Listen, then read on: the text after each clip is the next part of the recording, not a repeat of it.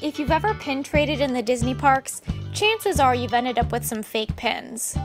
All these pins come from counterfeit lots on eBay and Amazon, and they should not be traded, but they can be great to use for making crafts. I'll first say that these pins are totally fine to keep in your collection. If you like it, keep it. But for most all crafting with these pins, you'll want to remove the post.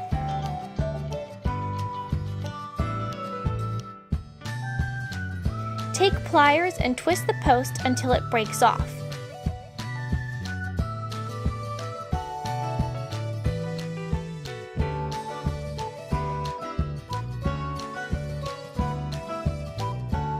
I'd recommend taking some sanding paper to make sure the post remnant isn't sharp.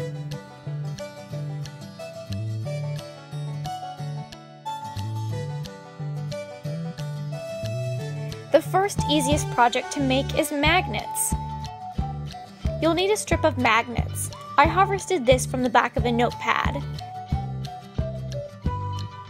Cut the magnet to the size you need and use E6000 to glue it to the back of the pin.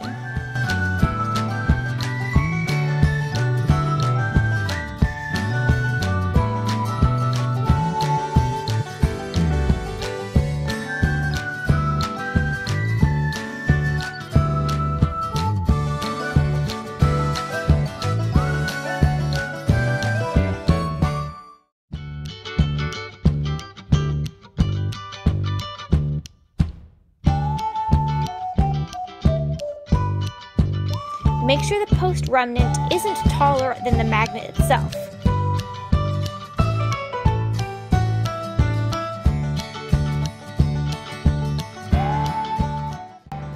And that's it! A fun, easy way to make magnets.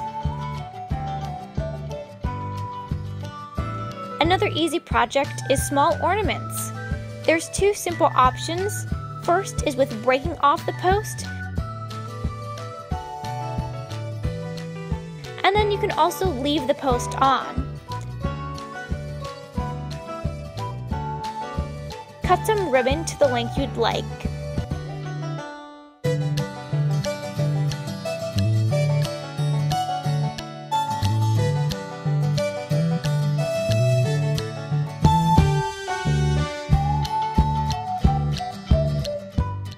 Poke it through the post and put the pin back on.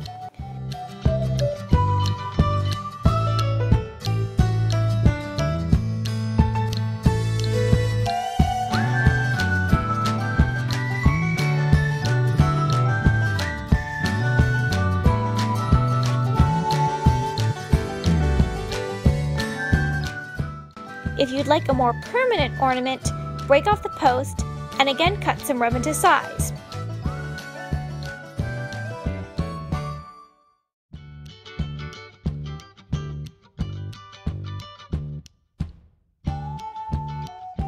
Use E6000 to glue it onto the back.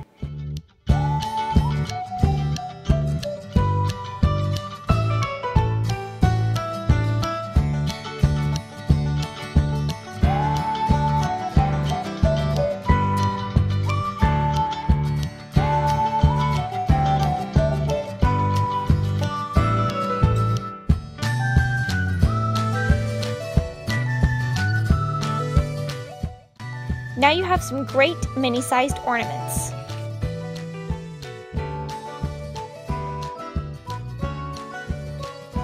Use the pins as accents for treasure chests.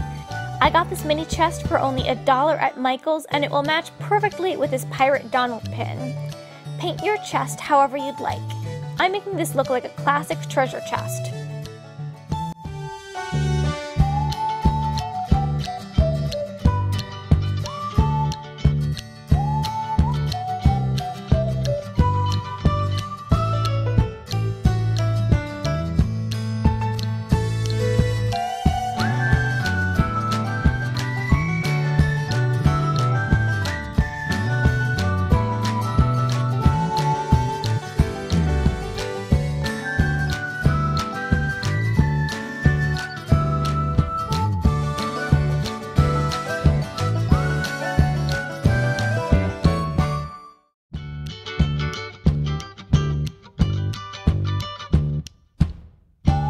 When the paint is dry, again just glue on the pin.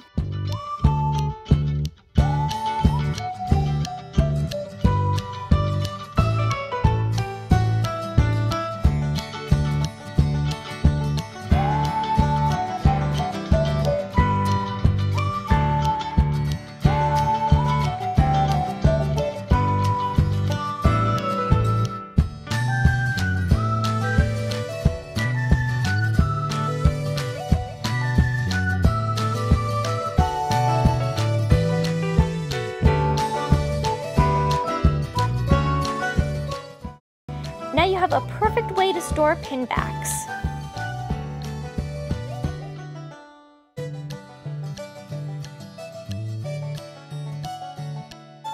Pins also make great accents for bows.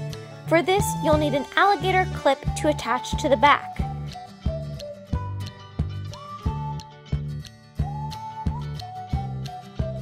If you want to make your own bow, cut a piece of felt and fold both ends into the middle. Accordion folded down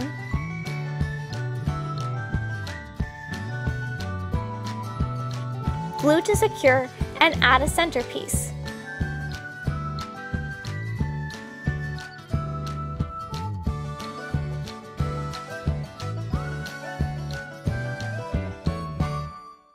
So that the glue holds to the clip, I'm roughing up the surface. Then add glue and slide to the back of the bow.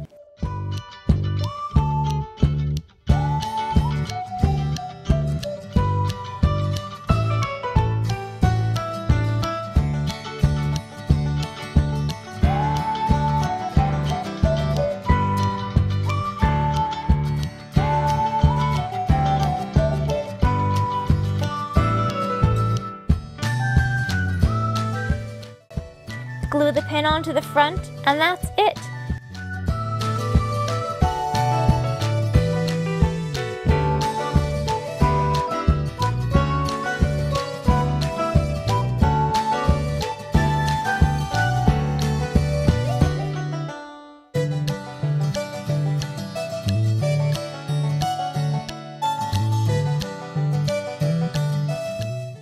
Now you have an awesome personalized accessory. Can also customize your pins with nail polish. Use a pin that doesn't have enamel, such as chaser pins, and grab your favorite nail polish. Use toothpicks to drop the color into the pin. Use the side of the toothpick to spread everything out.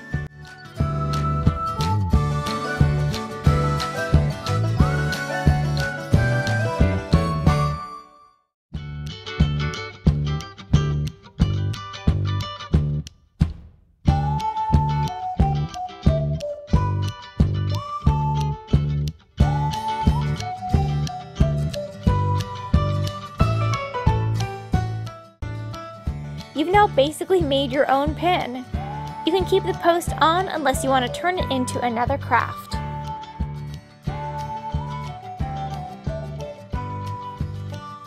Finally, you can make awesome photo frames.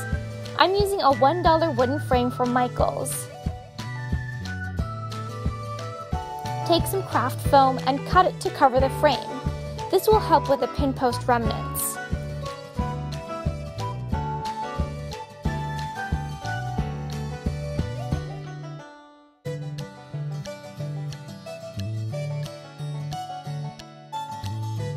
Glue on the foam and paint the edges to match.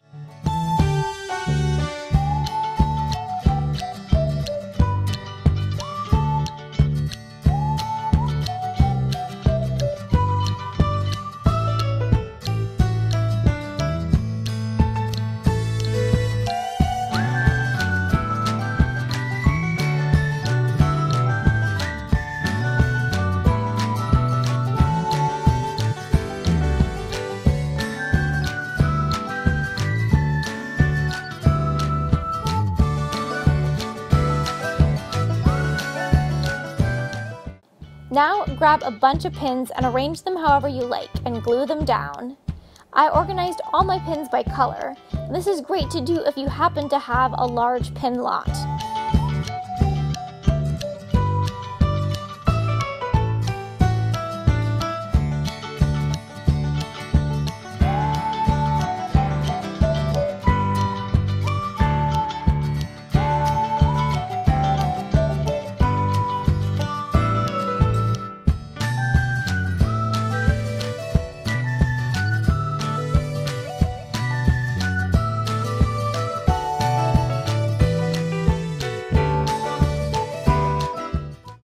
Now you can display a photo in an awesome pin frame.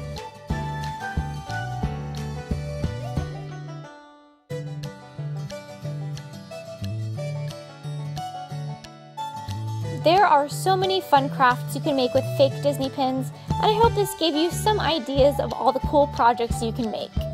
But thanks for watching!